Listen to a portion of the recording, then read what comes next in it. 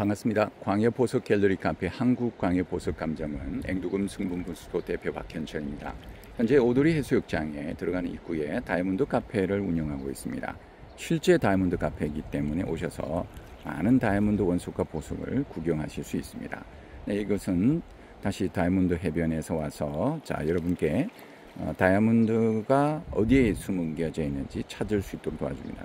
물론 어, 이것은 일반인들은 거의 구분을 못합니다. 제가 이런 어떻게 보면 기업 영업 내밀 사항일 수도 있는데 그 점을 이제 공익 차원에서 오픈하는 이유는 많은 사람한테 기회를 주고 또 그분들이 또 나름대로 정직한 사람들이 또 경제적인 다 어렵기 때문에 그런 부분을 올바로 서로 나눠주면서 어, 좀 상부상조하는 그런 사회가 왔으면 좋겠다는 취지로 지금 어, 알려드린 거예요.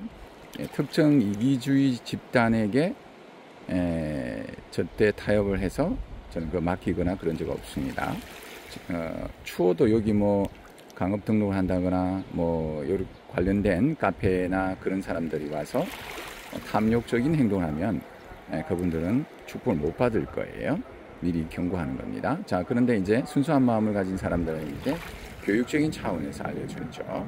네, 여기 말이 좀 길었네요. 자, 그러면 이제 또 여기서 다이아몬드 지금 핑크 다이아몬드가 큰 게 지금 보입니다. 제 눈에는 보이는데 두 개가 있어요. 한번 찾아보시겠어요? 아, 몇 개가 있네요. 몇 개가 있는데 그 중에서 좀 아주 질이 좋은 게 하나 있어요. 찾아보시겠어요? 자, 아까입니다.